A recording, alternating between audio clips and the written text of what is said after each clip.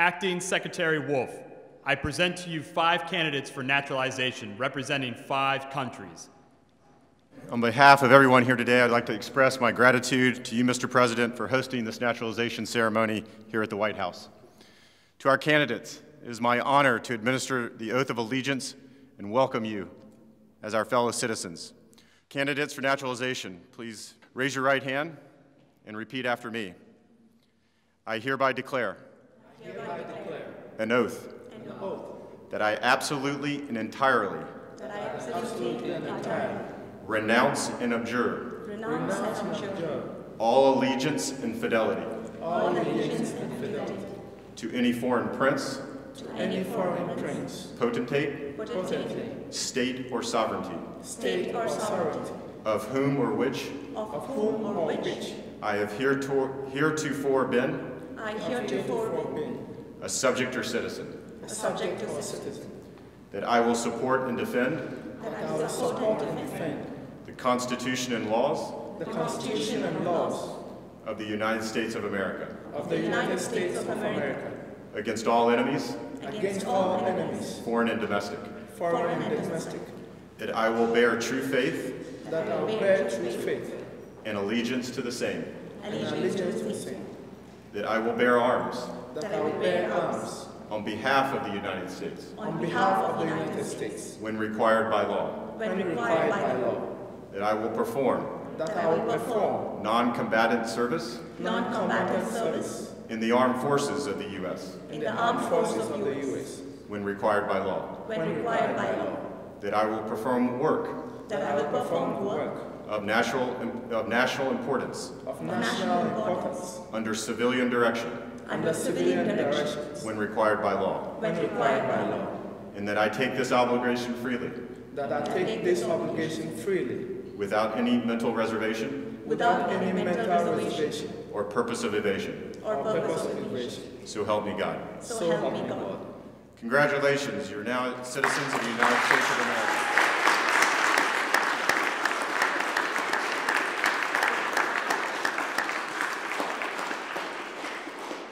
On behalf of the Department of Homeland Security, it is my honor to call you my fellow Americans.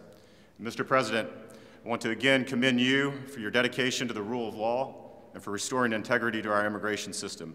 Thank you for hosting such a patriotic celebration here at the White House today.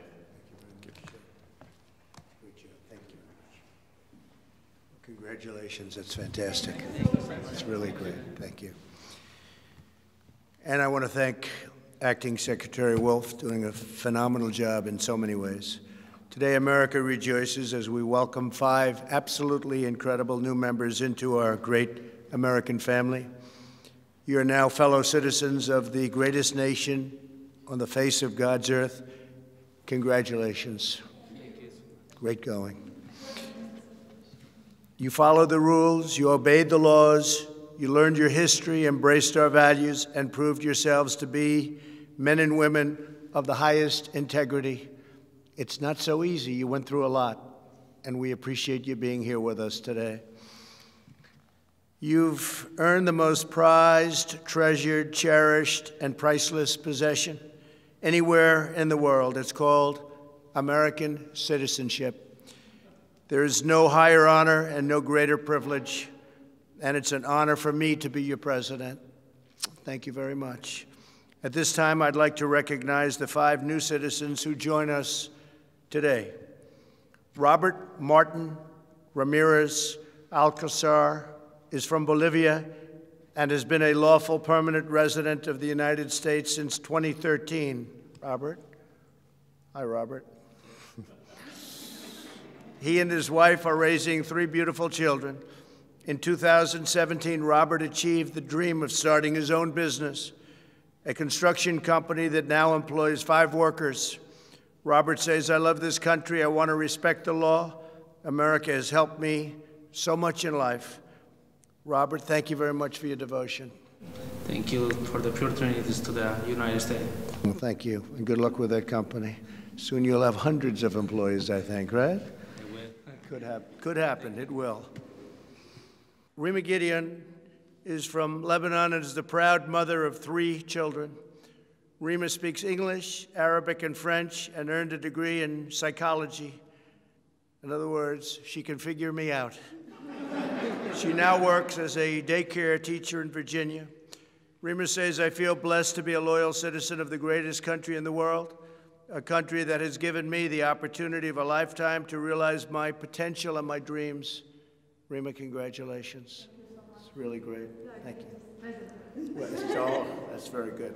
Thank you very much. I appreciate it. Sudha Sundari Narayan is a phenomenal success, born in India, came to the United States 13 years ago. Sudha is a talented software developer, and she and her husband are raising two beautiful, wonderful children, the apples of your life, right? Yes, they are. Well, thank you very much and congratulations. Fantastic job. Thank you. Nemet Abdelzim Awalo is from Sudan, and that's a beautiful name, and has been a lawful permanent resident since 2012. She is the married mother of three beautiful children, earned a master's degree and PhD in animal nutrition from the University of Wyoming, great place, great state, and she is a trained veterinarian.